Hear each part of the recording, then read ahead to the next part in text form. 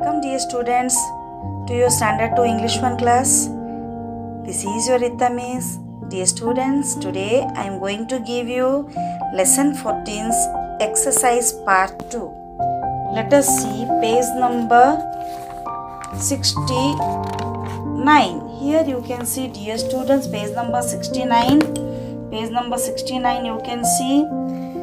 Look at the pictures and write what these people are or are not doing. Here, they are not crying, they are laughing. He is listening to songs, he is not singing. Next page, please see. Next page 70. She is not running. Are you R U N N I N G. She is not running. She is walking. W A L K I N G. The child is not reading. R E A D I N G. He is writing. W R I T I N G. We are not standing. We are sitting. S I T T I N G. Here, dear students, number 8. Look at the picture. Write sentences about Ritu and Ravi. Here, two examples are given. You can see they are watching TV. They are not reading books.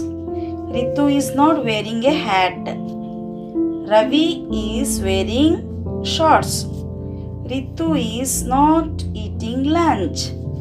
They are sitting, S I T T I N G, sitting on the chair, C H A I R, chair. They are laughing, L A U G H I N G, they are laughing. Now, dear students, let us see page 71. Here, number 9, complete the sentences with the correct with a word from the box. Don't forget to add am, is, are, ing to the words.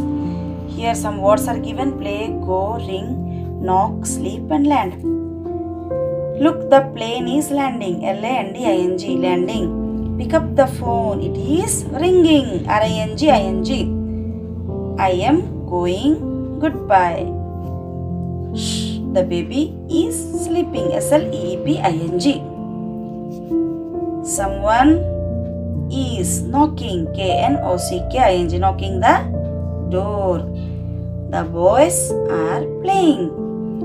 Dear students, you understood up to page number 71, number 9. We will do the next remaining part of this exercise in next part of the video. Thank you. Have a nice day.